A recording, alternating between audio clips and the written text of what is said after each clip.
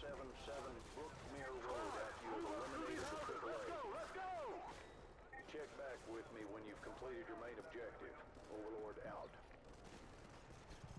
Coordinates confirmed.